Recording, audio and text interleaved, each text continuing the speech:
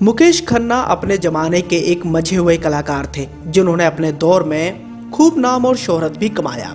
ये एक अच्छे कलाकार होने के साथ साथ एक अच्छे निर्माता भी थे, लेकिन इन सब के बावजूद मुकेश खन्ना बर्बाद हो गए।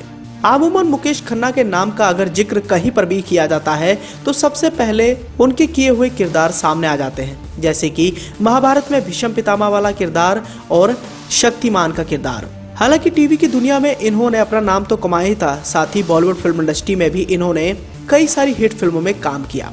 अपनी दमदार आवाज़ और बेहतरीन डायलॉगबाजी के बावजूद भी मुकेश खन्ना का सितारा क्यों नहीं चल पाया, इसके पीछे भी एक कारण है। बात उस दौर की है जब मुकेश खन्ना ने 10 से 12 फ़िल्में कर ली थी और बॉलीवुड फ़िल्म इंडस्ट्री में वो अपना नाम कमाने के लिए काफ़ी स्ट्रगल भी कर रहे थे और उन्हें कामयाबी मिल भी रही थी। मुकेश खन्ना की बढ़ती हुई लोकप्रियता को देखते हुए उन्हें कई सारे विज्ञापन भी मिले थे और 10-12 फ़िल्में करने के बाद उन्होंने दो से चार एडवर्टाइजमेंट भी कर ली थी।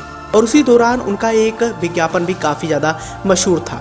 जिस विज्ञापन में वो सीढ़ियों से उतर रहे होते हैं और उनके आसपास लड़कियाँ खड़ी होती हैं। यह एड उस जमाने का काफ़ी ज़्यादा मशहूर एड था, जिसकी चर्चाएँ अक्सर मुकेश खन्ना को लेकर की ही जाती थी।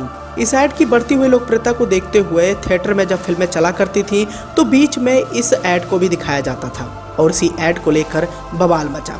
इस पूरे वाक्य का ज़िक्र करते हुए मुकेश खन्ना ने ऑन द टॉक शो में सारी बातें बताई थी। मुकेश खन्ना कहते हैं कि एक शख्स मेरे पास आता है और वो कहता है कि थिएटर में अमिताभ बच्चन के साथ कई लोग मौजूद थे। और वो पॉपकॉर्न खा रहे थे।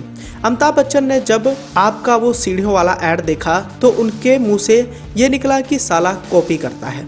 यार सी बात है, अमिताभ बच्चन उस जमाने के बहुत बड़े सुपरस्टार थे और उनका ये बयान जल्द ही मीडिया की सुर्खियाँ भी बन गया। मीडिया में जब इस बात की चर्चाएँ होने लग गई तो इसका असर मुकेश खन्ना के फिल्मी करियर पर भी पड़ा और उन्हें फ़िल्में मिलना बंद हो गई। अब मुकेश खन्ना को इस बात पर यकीन नहीं हुआ, लेकिन उन्होंने कंफर्मेशन करने के लिए एक बार फिर से उसी शख्स से दोबारा पूछा। क्या सच में अमिताभ बच्चन ने उनके लिए ये बात कही थी? उस शख्स ने बिल्कुल सही जवाब दिया और कहा कि हाँ मुकेश खन्ना को इसे गहरा झटका लगा। मुकेश खन्ना आगे ये भी बताते हैं कि इस घटना के बाद मैंने चार फ़िल्में की, लेकिन वो चारों फ़िल्में फ्लॉप साबित हुई। कई लोगों ने उन्हें यह कहकर ट्रोल करना शुरू कर दिया कि वो तो अमिताभ बच्चन की कॉपी करते हैं।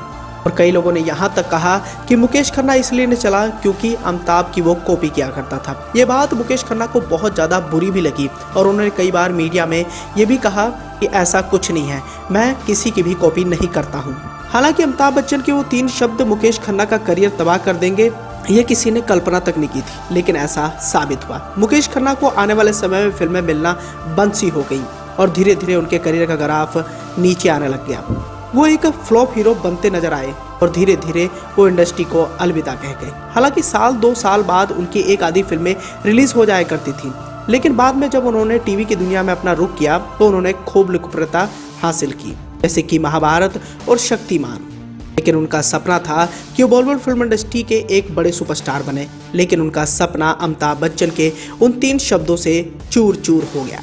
यहाँ पर हम आपको इस बात की जानकारी देना चाहेंगे कि मुकेश खन्ना इकलौते ऐसे शख्स नहीं थे, जिनको लेकर अमिताभ के करियर से कंपेयर करने की कोशिश की गई हो। यहाँ पर हम आपको इस बात की जानकारी देना चाहेंगे कि अमिताभ का करियर जब पीक पर था तो उस दौरान इस बात की चर्चाएँ की जाती थी कि विनोद खन्ना अमिताभ को टक्कर दे रहे हैं। और अमिताभ को कोई अगर टक्कर दे सकता है तो इंडस्ट्री में वो सिर्फ़ और सिर्फ़ विनोद खन्ना ही है। लेकिन जैसे कि आप सभी जानते हैं कि विनोद खन्ना ओशो की शरण में चले जाते हैं और यहीं से उनके करियर का पतन होना शुरू हो जाता है। कई लोगों ने यह भी अनुमान लगाया था कि ओशो की शरण में अगर विनोद खन्ना नहीं जाते तो शायद अमिताभ बच्चन इतने बड़े सुपरस्टार नहीं बन पाते। खैर, मौजूदा दौर में अमिताभ बच्चन और मुकेश खन्ना दोनों ही लाइमलाइट में बने रहते हैं। एक तरफ़ जहाँ अमिताभ बच्चन फ़िल्मों पर फ़िल्में किए जा रहे हैं, वहीं दूसरी ओर सोशल मीडिया के माध्यम से मुकेश खन्ना भी अपनी बातों को अपने फैंस के सामने शेयर करते ही रहते हैं।